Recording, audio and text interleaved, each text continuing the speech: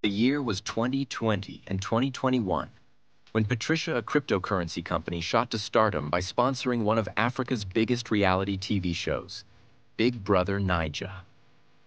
The name Patricia became a symbol of innovation and success, drawing millions of eyes to the brand.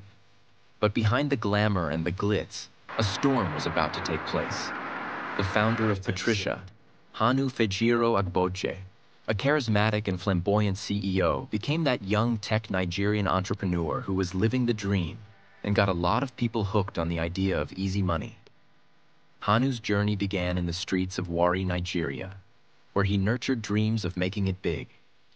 Driven by ambition and a sharp mind, he founded Patricia in 2017, a platform that offers users an easy way to buy, sell, and store cryptocurrency. But as Patricia's fortune soared, so did Hanu's appetite for luxury and the finer things in life. Slowly as the company grew, cracks were beginning to show everywhere. Patricia's corporate governance structure didn't even exist, although Hanu repeatedly claimed there was a board he reports to. Hanu continued to enjoy his newfound success after the Big Brother show while the company was gradually about to fail. Allegations of mismanagement with the company started surfacing, with publications from reputable tech journalists and blogs raising eyebrows. Questions about Patricia's financial practices and the CEO's decision-making processes became the talk of the industry. Despite the growing concerns, Hanu continued to defend the company, dismissing all allegations as baseless attacks on their success. In 2022, everything fell apart. Customers found out that they could no longer perform Bitcoin transactions, but could carry out transactions in other cryptocurrencies like Ethereum, Dogecoin, USDT, etc. They became worried and wanted their money back from Patricia, but unfortunately, they couldn't do so. And when they reached out to the company, Patricia blamed it on a hack. These customers became very apprehensive that their hard-earned money had vanished. Guys, you know what I'm saying I lost money? Patricia scammed me. So people would think I'm talking about 1 million, 5 million, 8 billion, 2 billion. Guys, I have never been so shattered in my life before. Dreams of making quick money had turned into a big financial mess. Most affected customers were those who thought they could make a living from Patricia and young folks whose dreams got broken. Since crypto isn't allowed or regulated in Nigeria, and Patricia's office had moved to Estonia in Europe, legal options came at a huge cost for Nigerians because you can't imagine a customer spending $10,000 in legal fees when the amount they have on the app is $12,000. Employees who worked in the company were surprised to hear that it was a hack. They refuted the claim saying it was just an internal breach that the company was working to resolve. An ex-employee claimed that what happened wasn't a serious breach as it was just a case of ghost employees. One of the sources used to work on the company's cybersecurity team, and interestingly, that source said that the team was not aware of a hack when the company announced. Other ex-employees claimed they experienced a breach due to the Big Brother Naija sponsorship, which significantly exposed the company to cyber risks. When Hanu, the CEO, was asked about the situation, he disclosed that governorship candidate Wilfred Bonds and his associates were arrested in connection with $750,000 at the time. Ex-employees revealed that the hack wasn't enough to cause the company to fail or prevent customers from getting their money. They revealed that Hanu was the sole person in the company that was authorized to move money, so he must know better what really happened. A source that spoke with TechPoint Africa disclosed that Hanu has been residing in the United States because of the hack issues and has been living a lavish lifestyle. It's no news that Hanu has bought several cars that cost thousands of dollars.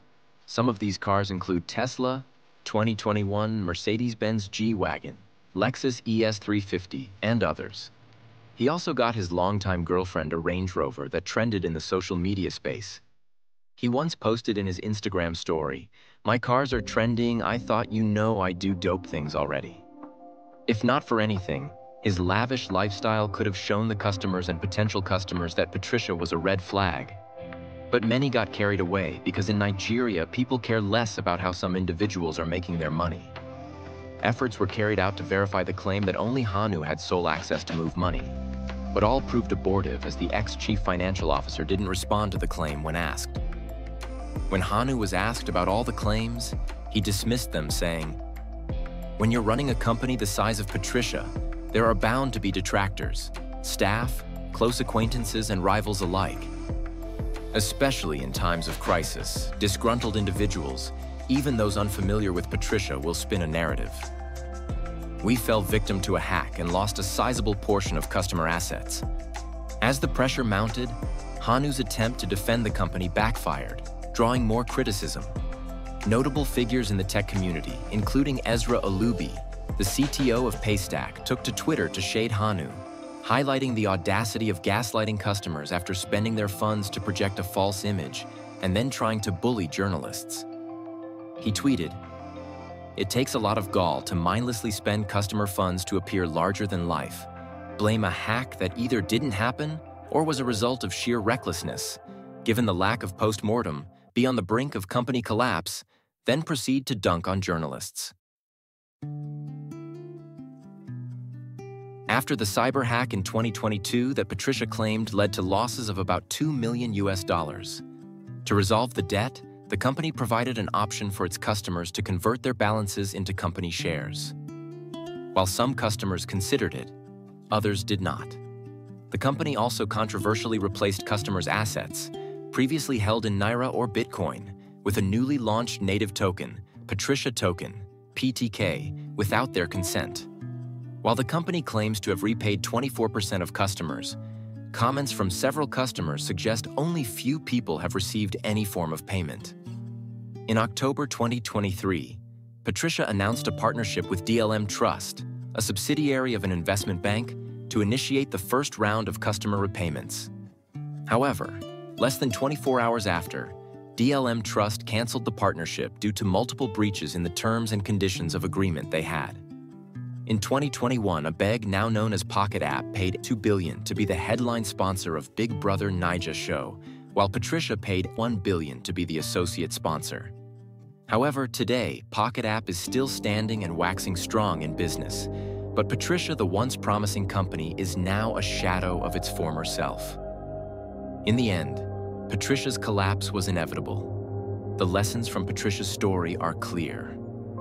Unchecked ambition, poor governance, and a disregard for ethical practices can lead to ruin. The fall of Patricia serves as a reminder that success demands not only innovation, but integrity, transparency, and a steadfast commitment to ethical practices.